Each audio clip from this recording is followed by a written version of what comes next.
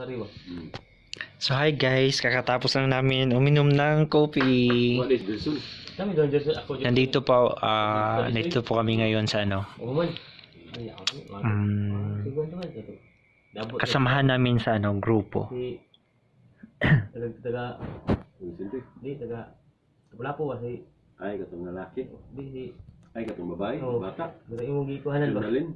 Ating wala ko. Putong sila. Tapos mamaya kakain ako ng watermelon. Brother Andy, thank you sa watermelon. Inahan sa itong Glasa na to, putol sila to ato na padung sa kapitulo. Hmm.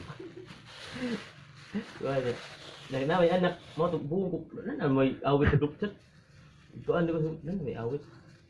Ah, Ah, wala na siguro eh, ngaray ngaray to sila. Ah, nawagi ko na ko ani wag ko sa baba lagi. Ngaray gid. Mga anak mo, kasi tao niya, kasi naa diha. Kuyog ang anak katong niya. Hmm. Amo na nakbilyan. Hmm. Po kasi naa diha. Kasi anak, Ato kung nagkuhan ko, nag, nag, Hindi lang, kasi wala ko masigil. taga, San ah. Junalin Mm, ba? Na- nabot ba to? sige lang kay mo to tapahak manguban ta ha. Na nabay gikuan sa siya kay kikaugos. Ato sa ila ha. Mag-isi siya. Nakita ko na yung patabangon niya ba? Kasi gitudlo tong kuan. Ano, nga di matumong na group. Di man mga kuan na 12.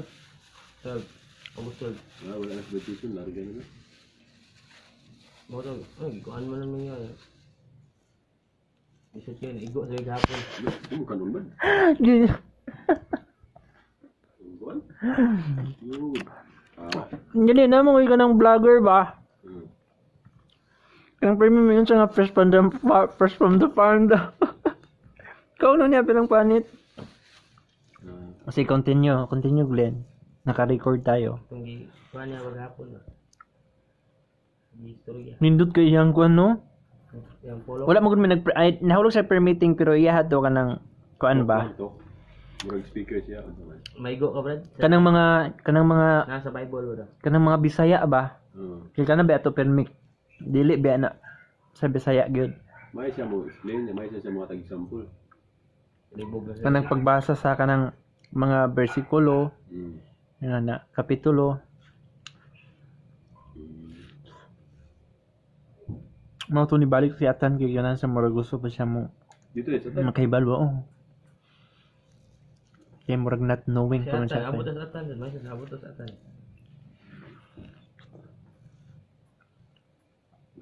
Ang gi-share ni Atan kay Gahapon, naabot ko dito sa gusto lagi ko nalikayan ang kanang kauwag, kaulag. alas 9.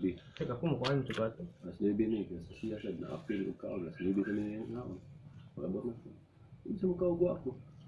Pud no. Ikaw, diyan, kung madugay ko din.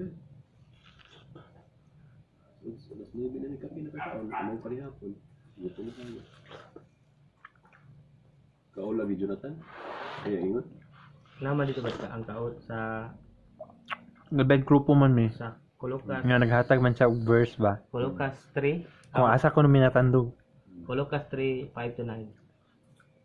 Naman dito ang kanang kaulag, hugaw gunahuna, mamakak. Magpasipa, sipa niya. Di ba sa bitanan katulo. Unsa nga ato. Mura sa tug kuan kan kuan naabot to yung atong katong mga gitudlo niya ba nakalimot lang di ko ato ba. Inig sindi ko. Tong nagkuan ni ba nag leadership ni ba? Naaman to. Katong rosas, katong world.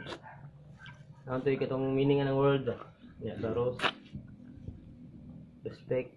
Ano to? Respect, obedience. Ano? Ako na magparad ulit Oo. ng notebook. Kuan, oh. Bible. Bible, Bible.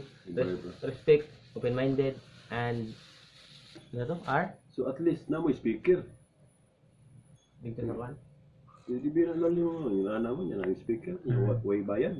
Mm. Surti na kayo na eh.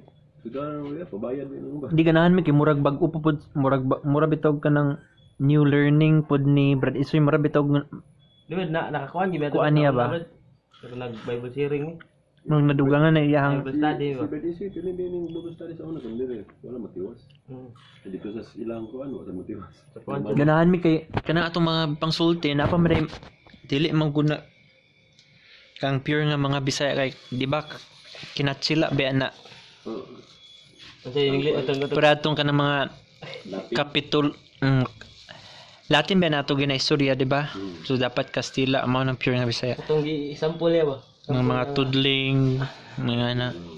Kung example niya nga unsay tong basahon, unsay kuan sa basahon. Mm, basta na ato, na ato ako record tanan. Kanang Bible sharing Dali sa itong speaker ninyo.